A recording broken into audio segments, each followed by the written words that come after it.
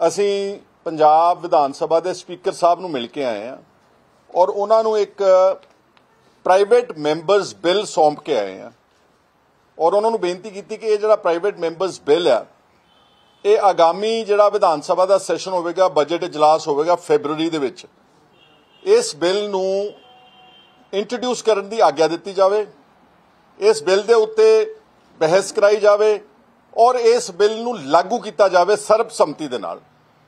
ਕਿਉਂਕਿ ਵਿਸ਼ਾ ਹੈ ਕਿ ਪਿਛਲੇ ਕਾਫੀ ਦਹਾਕਿਆਂ ਤੋਂ ਪੰਜਾਬ ਦੀ ਬਹੁਤ ਵੱਡੀ ਆਬਾਦੀ ਜਿਹੜੀ ਆ, ਸਾਡਾ ਜਿਹੜਾ ਪੜਿਆ ਲਿਖਿਆ ਹਿਊਮਨ ਰਿਸੋਰਸ ਹੈ ਨੌਜਵਾਨ ਤਬਕਾ, ਉਹ ਸਾਰੀ ਦੁਨੀਆ ਵਿੱਚ, ਵਿਦੇਸ਼ਾਂ ਵਿੱਚ ਜਾ ਰਿਹਾ। ਔਰ ਅੱਜ ਮੇਰਾ ਆਪਣਾ ਰਫ ਐਸਟੀਮੇਟ ਹੈ ਕਿ ਅੱਜ ਪੰਜਾਬ ਦੀ ਆਬਾਦੀ ਤਕਰੀਬਨ 3 ਕਰੋੜ ਤੇ ਖੜੀ ਹੈ ਇਸ 3 ਕਰੋੜ ਵਿੱਚੋਂ ਪਿਛਲੇ ਕੁਝ ਦਹਾਕਿਆਂ 'ਚ ਤੇ ਹੁਣ ਹੋਰ ਵੀ ਤੇਜ਼ੀ ਨਾਲ ਕੋਈ 50 ਲੱਖ ਦੇ ਕਰੀਬ ਜਿਹੜੇ ਪੰਜਾਬੀ ਨੌਜਵਾਨ ਬੱਚੇ ਲੜਕੀਆਂ ਬਜ਼ੁਰਗ ਪਰਿਵਾਰ ਉਹ ਵਿਦੇਸ਼ਾਂ ਵਿੱਚ ਮਾਈਗ੍ਰੇਟ ਕਰ ਚੁੱਕੇ ਨੇ। ਇਹ ਇਹ ਬਣ ਜਾਂਦੀ ਤਕਰੀਬਨ 1/6th population of Punjab during the last few decades has migrated uh, to different countries of the ਹੁਣ ਫੋਕਸ ਪਾਰਟਿਕੂਲਰਲੀ ਕੱਲੇ ਕੈਨੇਡਾ ਦਾ ਵਾ ਜ਼ਿਆਦਾ। ਔਰ ਜਦੋਂ ਸਾਡੇ ਬੱਚੇ ਜਾ ਰਹੇ ਨੇ ਚਾਹੇ ਉਹ ਪੜ੍ਹਾਈ ਦੇ ਆਧਾਰ ਤੇ ਜਾ ਰਹੇ ਨੇ ਚਾਹੇ ਉਹ ਪਰਮਨੈਂਟ ਰੈਜ਼ੀਡੈਂਸੀ ਦੇ ਆਧਾਰ ਤੇ ਜਾ ਰਹੇ ਨੇ ਪੀਆਰ ਤੇ, ਚਾਹੇ ਉਹ ਵਰਕ ਪਰਮਿਟ ਤੇ ਜਾ ਰਹੇ ਨੇ ਜਾਂ ਕਿਸੇ ਵੀ ਹੋਰ ਆਧਾਰ ਦੇ ਉੱਤੇ ਜਾ ਰਹੇ ਨੇ, ਚਾਹੇ ਗੈਰ ਕਾਨੂੰਨੀ ਵੀ ਜਾ ਰਹੇ ਨੇ ਦੁਨੀਆ ਦੇ ਵੱਖ-ਵੱਖ ਦੇਸ਼ਾਂ ਦੇ ਵਿੱਚ, ਉਹ ਆਪਣੇ ਨਾਲ ਹਰ ਨੌਜਵਾਨ ਪਰਿਵਾਰ ਜਿਹੜਾ ਵਾ, ਉਹ 20 ਤੋਂ 25 ਲੱਖ ਰੁਪਇਆ ਸ਼ੁਰੂਆਤ ਵਿੱਚ ਲੈ ਕੇ ਜਾਂਦਾ ਵਾ। ਹੁਣ ਤੁਸੀਂ ਅੰਦਾਜ਼ਾ ਲਾ ਲਓ ਕਿ ਜੇ ਇੱਕ ਸਾਲ ਵਿੱਚ ਸੁਣਿਆ ਵਾਂ ਕਿ ਕੱਲੇ ਕੈਨੇਡਾ ਦੇ ਵਿੱਚ 2 ਲੱਖ ਦੀ ਆਬਾਦੀ ਪੰਜਾਬ ਦੀ 2 ਲੱਖ ਦੇ ਕਰੀਬ ਪਰਿਵਾਰ ਜਿਹੜੇ ਨੇ, ਉਹ ਇਕੱਲੇ ਕੈਨੇਡਾ ਵਿੱਚ ਜਾਣੇ ਸ਼ੁਰੂ ਹੋ ਗਏ ਨੇ। ਕੈਨੇਡਾ ਦੀ ਇਸ ਵਕਤ ਪੰਜਾਬੀਆਂ ਦੀ ਤੇ ਸਿੱਖਾਂ ਦੀ ਆਬਾਦੀ ਅਪਰੋਕਸੀਮੇਟਲੀ 1 ਮਿਲੀਅਨ ਹੈ। ਔਰ ਯੂ ਐੱਸ ਏ ਦੇ ਵਿੱਚ ਹੋਰ ਵੀ ਜ਼ਿਆਦਾ ਵਾ। ਔਰ ਯੂਰਪ ਦੇ ਵਿੱਚ, ਕਿਉਂਕਿ ਯੂਕੇ ਵਿੱਚ ਬਹੁਤ ਪੁਰਾਣੀ ਸੈਟਲਮੈਂਟ ਹੈ ਪੰਜਾਬੀਆਂ ਦੀ, ਉੱਥੇ ਇਹਦਨੋਂ ਵੀ ਦੁੱਗਣੀ ਆ ਇਸ ਕਰਕੇ ਜਦੋਂ ਕੋਈ 2 ਲੱਖ ਨੌਜਵਾਨ ਜਾਊਗਾ ਪੰਜਾਬ ਚੋਂ, ਤੇ ਹਰ ਨੌਜਵਾਨ ਜੇ 20 ਤੋਂ 25 ਲੱਖ ਰੁਪਇਆ ਲੈ ਕੇ ਜਾਊ, ਮੈਨੂੰ ਤਾਂ ਗਿਣਤੀ ਤੋਂ ਬਾਹਰ ਆ। ਇਹਦਾ ਮਤਲਬ ਹੈ ਕਿ ਸਾਡੇ ਸੈਂਕੜੇ ਅਲਟੀਮੇਟਲੀ ਹਜ਼ਾਰਾਂ ਕਰੋੜ ਰੁਪਇਆ ਜਿਹੜਾ ਵਾ ਉਹ ਵਿਦੇਸ਼ਾਂ ਵਿੱਚ ਜਾ ਰਿਹਾ, ਪੰਜਾਬ ਦੀ ਆਰਥਿਕ, ਪੰਜਾਬ ਦੀ ਇਕਨੋਮੀ ਦਾ। ਤੁਸੀਂ ਦੇਖੋਗੇ ਤਾਂ ਹੀ ਉਹ ਪੰਜਾਬ ਇੱਕ ਕੰਗਾਲ ਸੂਬਾ ਬਣਦਾ ਜਾ ਰਿਹਾ ਵਾ। ਸਰਕਾਰ ਤੇ ਤਾਂ ਜਿਹੜਾ ਕਰਜ਼ਾ ਹੈਗਾ ਹੀ ਹੈਗਾ ਵਾ। ਜੇ ਤੁਸੀਂ ਪ੍ਰਾਈਵੇਟਲੀ ਦੇਖੋਗੇ, ਪੰਜਾਬ ਦੇ ਵਿੱਚ ਜਿਹੜੀਆਂ ਸਾਡੀ ਪਿੰਡੂ ਤਬਕੇ ਦੀਆਂ ਜ਼ਮੀਨਾਂ ਸੀ, ਅੱਜ ਤੋਂ 10 ਸਾਲ ਪਹਿਲਾਂ, ਉਹਨਾਂ ਦੀ ਕੀਮਤ ਐਗਰੀਕਲਚਰ ਲੈਂਡ ਦੀ ਤਕਰੀਬਨ 40 ਤੋਂ 50 ਲੱਖ ਰੁਪਇਆ ਪ੍ਰਤੀ ਏਕੜ ਸੀਗਾ। ਹੁਣ ਜਿੱਦਾਂ ਵਿਸ਼ਵ ਤਰੱਕੀ ਕਰ ਰਿਹਾ ਵਾ ਉਹਦਾ ਪੰਜਾਬ ਦੀਆਂ ਜ਼ਮੀਨਾਂ ਦੀ ਕੀਮਤ ਅਤੇ ਰੀਅਲ ਏਸਟੇਟ ਤੇ ਅਹ, ਜਿਹੜੇ ਐਸੈਟਸ ਆ ਉਹਦੀ ਕੀਮਤ ਤਾਂ ਵਧਣੀ ਚਾਹੀਦੀ ਸੀ ਲੇਕਿਨ ਹੋਇਆ ਉਲਟਾ ਅੱਜ ਪੰਜਾਬ ਦੇ ਪਿੰਡਾਂ ਦੇ ਵਿੱਚ ਪਹਿਲੀ ਗੱਲ ਤਾਂ ਕੋਈ ਖਰੀਦਦਾਰ ਹੀ ਨਹੀਂਗਾ ਜ਼ਮੀਨ ਦਾ ਲੇਕਿਨ ਅਗਰ ਖਰੀਦਦਾਰ ਹੋਵੇ ਵੀ ਤਾਂ ਉਹਦੀ ਕੀਮਤ ਜਿਹੜੀ ਆ 20 ਕੁ ਲੱਖ ਰੁਪਏ ਏਕੜ ਤੱਕ ਰਹਿ ਚੁੱਕ ਰਹਿ ਗਈ ਹੈ ਇਹਦਾ ਮਤਲਬ there is a straight drop of 50% value of real estate particularly am talking about rural areas ਸ਼ਹਿਰਾਂ ਵਿੱਚ ਹਲੇ ਹੈ, ਕਿਉਂਕਿ ਸਾਰੀ ਮਾਈਗ੍ਰੇਸ਼ਨ ਸ਼ਹਿਰਾਂ ਵੱਲ ਨੂੰ ਹੋ ਰਹੀ ਆ, ਬਾਹਰੋਂ ਵੀ ਇਨਵੈਸਟਮੈਂਟ ਆ ਰਹੀ ਆ, ਦੂਜਾ, ਤੀਜਾ ਇਸ ਕਰਕੇ ਥੋੜਾ ਬਹੁਤਾ ਸ਼ਹਿਰਾਂ ਦੇ ਵਿੱਚ ਇਸ ਵਕਤ ਪ੍ਰਾਪਰਟੀ ਦੇ ਕੀਮਤਾਂ ਠੀਕ ਹੋਣਗੀਆਂ। ਲੇਕਿਨ ਪਿੰਡਾਂ ਦੀ ਇਕਨੋਮੀ ਜਿਹੜੀ ਤੈਸ਼-ਨੈਸ਼ ਹੋ ਗਈ ਹੈ। ਇਹ ਸਾਰੀ ਗੱਲ ਨੂੰ ਮੱਦੇਨਜ਼ਰ ਰੱਖ ਕੇ ਅਸੀਂ ਇਹ ਕਹਿਣਾ ਚਾਹੁੰਦੇ ਆ ਪੰਜਾਬ ਦੀ ਵਿਧਾਨ ਸਭਾ 'ਚ ਕਿ ਜਿਸ ਤਰ੍ਹਾਂ ਦੂਸਰੇ ਸੂਬਿਆਂ ਨੇ ਆਪਣੀ ਹੋਂਦ ਨੂੰ ਬਚਾਇਆ ਵਾ ਆਪਣੀ ਆਇਡੈਂਟੀਟੀ ਨੂੰ ਪ੍ਰੋਟੈਕਟ ਕੀਤਾ ਵਾ। ਉਸ ਤਰ੍ਹਾਂ ਪੰਜਾਬ ਦੇ ਵਿੱਚ ਨੌਬਤ ਆ ਗਈ ਆ ਕਿ ਅਸੀਂ ਪੰਜਾਬ, ਪੰਜਾਬੀਆਂ ਦੀ, ਪੰਜਾਬੀਅਤ ਦੀ ਤੇ ਸਿੱਖ, ਜਿਹੜੇ ਪਹਿਲਾਂ ਹੀ ਮਾਈਕਰੋਸਕੋਪਿਕ ਮਾਈਨੋਰਿਟੀ ਨੇ ਇਸ ਦੇਸ਼ ਵਿੱਚ। ਆਪਾਂ ਸਾਰੇ ਜਾਣਦੇ ਹਾਂ ਕਿ ਸਾਡੀ ਸਿੱਖਾਂ ਦੀ ਆਬਾਦੀ ਸ਼ਾਇਦ 2% ਦੀ ਹੈ ਇਸ ਭਾਰਤ ਦੇਸ਼ ਦੇ ਵਿੱਚ।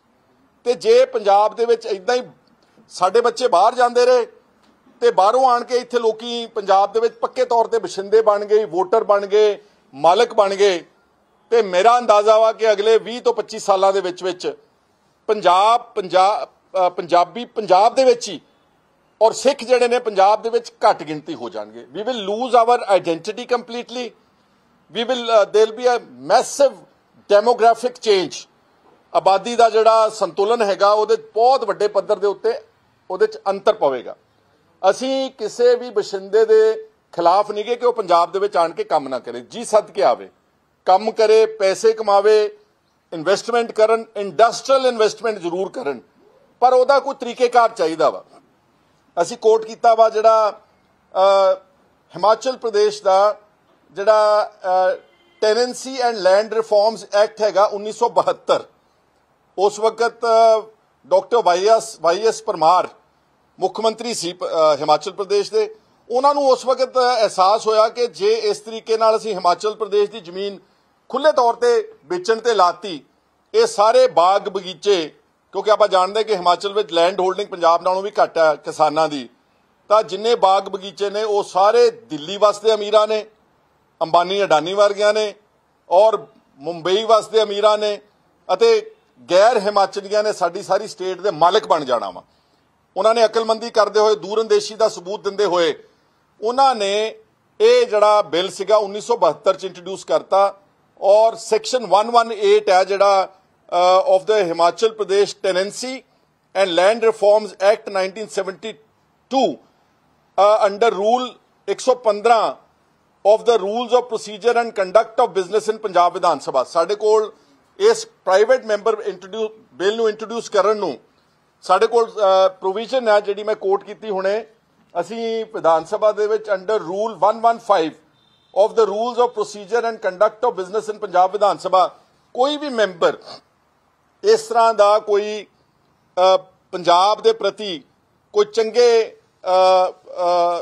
ਵਿਚਾਰ ਦੇ ਨਾਲ ਕੋਈ ਠੂ- ਠੋਸ ਕਾਨੂੰਨ ਦੇ ਤ- ਦੇ ਤਹਿਤ ਤਬਦੀਲੀ ਚਾਹੁੰਦਾ ਅਮੈਂਡਮੈਂਟ ਚਾਹੁੰਦਾ ਉਹ ਪ੍ਰਾਈਵੇਟ ਮੈਂਬਰ ਬਿੱਲ ਜਿਹੜਾ ਰੱਖਿਆ ਜਾ ਸਕਦਾ ਔਰ ਮੈਂ ਕਹਿ ਰਿਹਾ ਸੀਗਾ ਕਿ ਤੁਸੀਂ ਦੇਖੋਗੇ ਕਿ ਜਦੋਂ ਐਡੇ ਵੱਡੇ ਪੱਧਰ ਦੇ ਉੱਤੇ ਪੰਜਾਬ ਦੇ ਲੋਕ ਬਾਹਰ ਚਲੇ ਗਏ ਸਾਡੀ ਜਿਹੜੀ ਕੰਟਰੀਬਿਊਸ਼ਨ ਹੈ ਟੁਵਰਡ ਸੈਂਟਰਲ ਸਰਵਿਸਿਜ਼ ਜਿੱਥੇ ਸਾਡੇ ਬੱਚੇ ਪੜ੍ਹ ਕੇ ਆਈਏਐਸ ਬਣਦੇ ਨੇ ਆਈਪੀਐਸ ਬਣਦੇ ਨੇ there is a sharp drop similarly ਸਾਡੇ ਜਿਹੜੇ ਬੱਚੇ ਆਰਮਡ ਫੋਰਸਸ ਵਿੱਚ ਜਾਂਦੇ ਨੇ ਫੌਜਾਂ ਵਿੱਚ ਜਾਂਦੇ ਨੇ ਅ, ਜਿਹੜੀਆਂ ਹੋਰ ਪੈਰਾਮਿਲਟਰੀ ਫੋਰਸਸ ਆ ਉਹਦੇ ਵਿੱਚ ਪੰਜਾਬ ਦੀ ਜਿਹੜੀ ਪਾਰਟਿਸਿਪੇਸ਼ਨ ਹੈਗੀ ਆ ਪੰਜਾਬ ਦੀ ਜਿਹੜੀ ਉੱਥੇ ਅ, ਜਿਹੜੀ ਉਹ ਸਾਡੀ ਕੰਟਰੀਬਿਊਸ਼ਨ ਹੈ ਉਹ ਸਾਰੀ ਇਸ ਦੇਸ਼ ਦੇ ਵਿੱਚ ਬਿਲਕੁਲ ਨਾਮਾਤਰ ਹੁੰਦੀ ਜਾ ਰਹੀ ਹੈ ਘਟਦੀ ਜਾ ਰਹੀ ਹੈ ਇਸ ਕਰਕੇ ਪੰਜਾਬ ਦੀ ਹੋਂਦ ਨੂੰ ਬਚਾਉਣ ਵਾਸਤੇ, ਪੰਜਾਬ ਦੀ ਇਕਨੋਮੀ ਨੂੰ ਬਚਾਉਣ ਵਾਸਤੇ, ਪੰਜਾਬ ਦੇ ਜਿਹੜਾ ਸਾਡਾ ਡੈਮੋਗ੍ਰਾਫਿਕ ਆਬਾਦੀ ਦਾ ਸੰਤੁਲਨ ਵਿਗੜ ਰਿਹਾ, ਉਸ ਨੂੰ ਬਚਾਉਣ ਵਾਸਤੇ ਇਹ ਬਿੱਲ ਬਹੁਤ ਮਹੱਤਵਪੂਰਨ ਹੈ। ਔਰ ਮੈਂ ਜਦੋਂ ਸਪੀਕਰ ਸਾਹਿਬ ਨਾਲ ਅਸੀਂ ਤੇ ਪ੍ਰਤਾਪ ਸਿੰਘ ਬਾਜਵਾ ਅਸੀਂ ਡਿਸਕਸ਼ਨ ਕੀਤੀ ਆ, ਉਹਨਾਂ ਨੇ ਸਾਡੇ ਨਾਲ ਸਹਿਮਤੀ ਜਤਾਈ ਹੈ ਕਿ ਇਹ ਬਹੁਤ ਮਹੱਤਵਪੂਰਨ ਮੁੱਦਾ ਵਾ। ਔਰ ਮੈਂ ਆਪਣੀ ਪਾਰਟੀ ਦੇ ਵਿੱਚ ਇਸ ਨੂੰ ਡਿਸਕਸ਼ਨ ਤੋਂ ਬਾਅਦ ਅਸੀਂ ਉਮੀਦ ਕਰਦੇ ਹਾਂ ਕਿ ਅਸੀਂ ਇਸ ਕਾਨੂੰਨ, ਇਸ ਇਸ ਪ੍ਰਾਈਵੇਟ ਮੈਂਬਰ ਨੂੰ ਕਾਨੂੰਨ ਦੀ ਸ਼ਕਲ ਦੇਵਾਂਗੇ ਪੰਜਾਬ ਦੀ ਵਿਧਾਨ ਸਭਾ ਦੇ ਵਿੱਚ, ਕਿਉਂਕਿ ਇਹ ਕੋਈ ਕਿਸੇ ਇੱਕ ਵਿਅਕਤੀ ਵਿਸ਼ੇਸ਼ ਦਾ, ਇਹ ਕਿਸੇ ਪਾਰਟੀ ਵਿਸ਼ੇਸ਼ ਦਾ, ਇਹ ਕੋਈ ਏਜੰਡਾ ਨਹੀਂਗਾ। ਇਹ ਜਿੱਦਾਂ ਕਹਿੰਦੇ ਪੰਜਾਬ, ਪੰਜਾਬੀਅਤ, ਇਹ ਉਸ ਦਾ ਇੱਕ ਸਾਂਝਾ ਏਜੰਡਾ ਵਾ। ਇਸ ਕਰਕੇ ਇਸ ਏਜੰਡੇ ਨੂੰ ਅੰਜਾਮ ਦੇਣ ਵਾਸਤੇ ਸਾਡੇ ਕੋਲ ਪੰਜਾਬ ਦੀ ਵਿਧਾਨ ਸਭਾ ਨਾਲੋਂ ਬਿਹਤਰ ਕੋਈ ਪਲੇਟਫਾਰਮ ਨਹੀਂਗਾ। ਔਰ ਮੈਂ ਉਮੀਦ ਕਰਦਾ ਕਿ ਸਾਰੀਆਂ ਪਾਰਟੀਆਂ ਜਿਹੜੀਆਂ ਕਹਿੰਦੀਆਂ ਅਸੀਂ ਪੰਜਾਬ ਲਈ ਸੁਹਿਰਦ ਹਾਂ ਅਸੀਂ ਪੰਜਾਬ ਦੇ ਹਿੱਤ ਵਿੱਚ ਖੜੇ ਹਾਂ ਅਸੀਂ ਪਾ- ਪੰਜਾਬ ਦੇ ਵਿੱਚ ਅਸੀਂ ਅਸੀਂ ਉਹਦੀ ਹੋਂਦ ਨੂੰ ਬਰਕਰਾਰ ਵਾ- ਕਰਨ ਵਾਸਤੇ ਖੜੇ ਹਾਂ ਚਾਹੇ ਉਹ ਕਾਂਗਰਸ ਹੈ, ਚਾਹੇ ਉਹ ਸ਼੍ਰੋਮਣੀ ਅਕਾਲੀ ਦਲ ਹੈ, ਚਾਹੇ ਉਹ ਆਮ ਆਦਮੀ ਪਾਰਟੀ ਹੈ, ਚਾਹੇ ਉਹ ਭਾਰਤੀ ਜਨਤਾ ਪਾਰਟੀ ਦਾ ਪੰਜਾਬ ਦਾ ਯੂਨਿਟ ਆ, ਮੈਂ ਉਮੀਦ ਇਹ ਕਰਦਾ ਵਾਂ ਕਿ ਇਸ ਬਿੱਲ ਨੂੰ ਸਾਰੇ ਅਨਕੰਡੀਸ਼ਨਲ ਔਰ ਯੂਨੈਨਿਮਸ ਸਪੋਰਟ ਦੇਣਗੇ ਤਾਂ ਕਿ ਛੇਤੀ ਤੋਂ ਛੇਤੀ ਜਿਹੜਾ ਕਾਨੂੰਨ ਬਣਾਇਆ ਜਾਵੇ। ਹੁਣ ਇਹਦੇ ਵਿੱਚ ਕਾਨੂੰਨ ਕੀ ਆ ਕਿ ਇਹ ਨਹੀਂ ਮੈਂ ਕਹਿ ਰਿਹਾ ਕਿ ਕੋਈ ਵੀ ਨਹੀਂ ਆਣ ਕੇ ਇੱਥੇ ਜ਼ਮੀਨ ਲੈ ਸਕਦਾ। ਬਿਲਕੁਲ ਲੈ ਸਕਦਾ। ਸੋ ਇਹਦਾ ਮੋਟਿਵ ਕੀ ਆ ਕਿ ਜਿੱਦਾਂ ਹਿਮਾਚਲ ਪ੍ਰਦੇਸ਼ ਨੇ ਜਾਂ ਹੋਰ ਸਟੇਟਸ ਨੇ, ਇਹਨੂੰ ਇਹਦੀਆਂ ਸ਼ਰਤਾਂ ਰੱਖੀਆਂ ਹੋਈਆਂ ਨੇ। There is a restriction. Nobody can just come outrightly from punjab ਪੈਸੇ ਦਿੱਤੇ 20 ਲੱਖ ਰੁਪਇਆ ਪਹਿਲਾਂ 1 ਏਕੜ ਦੇ ਮਾਲਕ ਬਣ ਗਏ, ਫਿਰ ਉੱਥੇ ਵੋਟਰ ਕਾਰਡ ਬਣਾਇਆ ਤੇ ਫਿਰ ਉੱਥੇ ਵੋਟਰ ਬਣ ਗਏ। ਅੱਜ ਪੰਜਾਬ ਦੀ ਅਸੈਂਬਲੀ ਵਿੱਚ ਮੈਂ ਕਿਸੇ ਦੇ ਖਿਲਾਫ ਨਹੀਂਗਾ। ਆਲਰੇਡੀ ਇੱਕ ਗੈਰ ਪੰਜਾਬੀ ਜਿਹੜਾ ਮੈਂਬਰ ਬਣ ਚੁੱਕਾ ਪੰਜਾਬ ਦੀ ਵਿਧਾਨ ਸਭਾ ਦੇ ਬਹੁਤ ਸਾਰੇ ਕਾਉਂਸਲਰਸ ਮੈਂ ਉਹਨਾਂ ਦੇ ਵੀ ਖਿਲਾਫ ਨਹੀਂਗਾ ਲੈਟ ਮੀ ਟੈਲ ਯੂ ਜਿਹੜੇ ਬੰਦੇ ਆ ਚੁੱਕੇ ਨੇ, ਵੋਟਰ ਬਣ ਚੁੱਕੇ ਨੇ, ਇੱਥੇ ਸੈਟਲ ਹੋ ਚੁੱਕੇ ਨੇ, ਉਹ ਤਾਂ ਆਲਰੇਡੀ ਪੰਜਾਬੀ ਬਣ ਚੁੱਕੇ ਨੇ। ਉਹ ਜੀ ਸੱਦ ਕੇ ਪੰਜਾਬ ਦੀ ਧਰਤੀ ਦੇ ਉੱਤੇ ਰਹਿਣਗੇ। ਲੇਕਿਨ further we have to prevent ਬਹੁਤ ਸਾਰੇ ਲੁਧਿਆਣਾ ਆਦ ਵੱਡੇ ਸ਼ਹਿਰਾਂ ਵਿੱਚ ਬਹੁਤ ਸਾਰੇ ਗੈਰ ਪੰਜਾਬੀ ਜਿਹੜੇ ਕਾਉਂਸਲਰ ਬਣ ਚੁੱਕੇ ਨੇ। ਮੈਂ ਇਸ ਗੱਲ ਦੇ ਕਤਾਈ ਖਿਲਾਫ ਨਹੀਂਗਾ, ਲੇਕਿਨ ਮੈਂ ਚਾਹੁੰਦਾ ਕਿ ਆਉਣ ਵਾਲੇ ਸਮੇਂ ਦੇ ਵਿੱਚ ਜਿਹੜਾ ਵੀ ਕੋਈ ਵਿਅਕਤੀ ਆਵੇ, ਉਹ ਅਗਰ ਐਗਰੀਕਲਚਰ ਲੈਂਡ ਲੈਣਾ ਚਾਹੁੰਦਾ, ਹਿਮਾਚਲ ਵਿੱਚ ਤੁਸੀਂ ਲੈ ਸਕਦੇ ਹੋ, ਲੇਕਿਨ ਉਹਦੀਆਂ ਕੁਝ ਸ਼ਰਤਾਂ ਫੋਲੋ ਕਰਨੀਆਂ ਪੈਂਦੀਆਂ। ਉਹਦੇ ਨਾਲ ਕੀ ਹੁੰਦਾ ਕਿ ਜਿਹੜਾ ਨਾਨ ਸੀਰੀਅਸ ਪਰਚੇਜ਼ਰ ਆ, ਉਹ ਸਾਰਾ ਫਿਲਟਰ ਹੋ ਜਾਂਦਾ। ਸਿਰਫ ਜਿਹੜਾ ਜੈਨੂਇਨ ਬਾਇਰ ਆ, ਉਹ ਆਣ ਕੇ ਪੰਜਾਬ ਦੇ ਵਿੱਚ ਜ਼ਮੀਨ ਲੈ ਸਕੇ।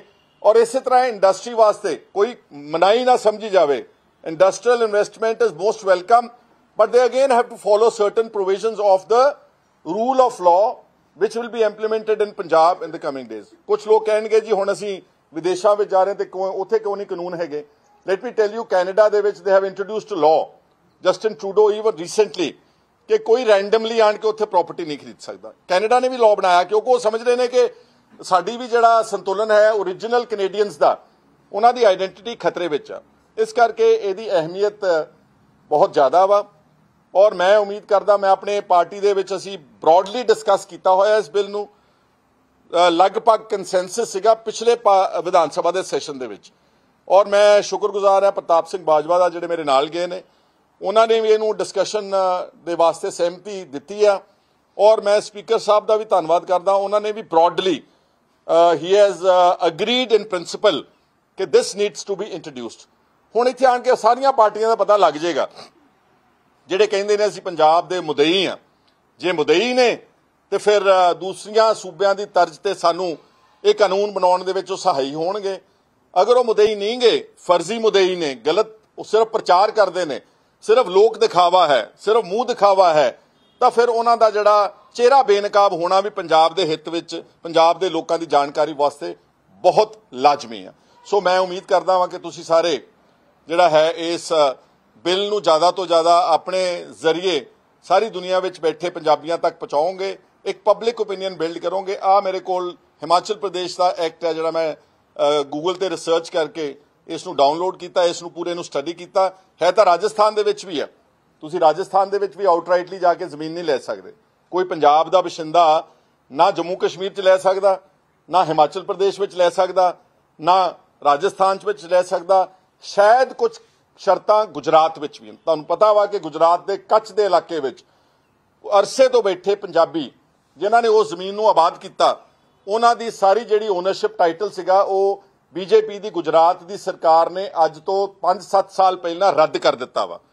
ਔਰ ਉਹਨਾਂ ਨੇ ਹਾਈ ਕੋਰਟ ਨੂੰ ਅਪਰੋਚ ਕੀਤਾ। ਹਾਈ ਕੋਰਟ ਚੋਂ ਜਿੱਤ ਗਏ ਕੇਸ ਇਹਦੇ ਬਾਵਜੂਦ ਸਰਕਾਰ ਨੇ ਸੁਪਰੀਮ ਕੋਰਟ ਵਿੱਚ ਜਾ ਕੇ ਇੱਕ ਐਸਐਲਪੀ ਅਪੀਲ ਪਾਈ ਔਰ ਉਹਨਾਂ ਦੀ ਮਲਕੀਅਤ ਜਿਹੜੀ ਆ, ਉਹ ਦੁਬਾਰਾ ਉਸ ਨੂੰ ਸਟੇ ਕਰਵਾ ਦਿੱਤਾ ਉਸ ਤੇ ਰੋਕ ਲਗਵਾ ਦਿੱਤੀ ਅੱਜ ਕੱਚ ਦੇ ਇਲਾਕੇ ਵਿੱਚ ਬੈਠੇ ਸੈਂਕੜੇ ਪਰਿਵਾਰ ਸਿੱਖਾਂ ਦੇ ਪੰਜਾਬੀਆਂ ਦੇ ਉਥੋਂ ਦੇ ਮਾਲਕ ਨਹੀਂ ਬਣ ਸਕਦੇ so that is the law and I hope that all political ਪਾਰਟੀਆਂ all leaders cutting across party lines will support this act, will support this bill uh, unanimously. So ਮੈਂ ਤੁਹਾਡਾ ਸਾਰਿਆਂ ਦਾ ਅੱਜ ਇਸ ਆਈਡੀਆ ਜਿਹੜਾ ਤੁਹਾਡੇ ਰਾਹੀਂ ਫਲੋਟ ਕੀਤਾ, ਮੈਂ ਪੰਜਾਬ ਦੇ ਸਾਰੇ ਵਸਿੰਦਿਆਂ ਨੂੰ ਅਪੀਲ ਕਰੂੰਗਾ ਕਿ ਤੁਸੀਂ ਵੀ ਇਸ ਨੂੰ ਪ੍ਰਚਾਰੋ ਕੱਲੇ ਕੱਲੇ ਪੰਜਾਬੀ ਤੱਕ ਪਹੁੰਚਾਓ, ਤਾਂ ਕਿ ਸਾਡੇ ਜਿਹੜੇ ਆਗੂ ਨੇ ਐਮਐਲਏਜ਼ ਉਹਨਾਂ ਤੇ ਪ੍ਰੈਸ਼ਰ ਬਿਲਡ ਹੋਵੇ ਕਿ ਉਹ ਵਿਧਾਨ ਸਭਾ ਵਿੱਚ ਆਣ ਕੇ ਕਹਿਣ ਕਿ ਹਾਂਜੀ, ਇਹ ਜਿਹੜਾ ਕਾਨੂੰਨ ਹੈ, ਉਹ ਜ਼ਰੂਰ ਬਣਨਾ ਚਾਹੀਦਾ। ਇਹ ਮੈਂ ਸਿਰਫ ਇੱਕ ਬਿੱਲ ਮੂਵ ਕਰ ਰਿਹਾ। ਇਹ ਕੋਈ ਮੇਰਾ ਕੋਈ ਇਕੱਲੇ ਦਾ ਇਹ ਕੋਈ ਨਾ ਤਾਂ ਫਰਜ਼ ਆ, ਨਾ ਮੈਂ ਇਕੱਲੇ ਦੀ ਕੋਈ ਜ਼ਿੰਮੇਵਾਰੀ ਆ। ਮੈਂ ਸਮਝਦਾ ਕਿ ਪੰਜਾਬ ਦੇ 3 ਕਰੋੜ ਆਬਾਦੀ ਦੇ ਇਲੈਕਟਿਡ ਰਿਪਰੈਜ਼ੈਂਟੇਟਿਵਸ ਦੀ ਇਹ ਜ਼ਿੰਮੇਵਾਰੀ ਬਣਦੀ ਆ ਕਿ ਉਹ ਪੰਜਾਬ ਦੇ ਇੰਟਰਸਟ ਨੂੰ ਸੇਫਗਾਰਡ ਕਰਨਗੇ।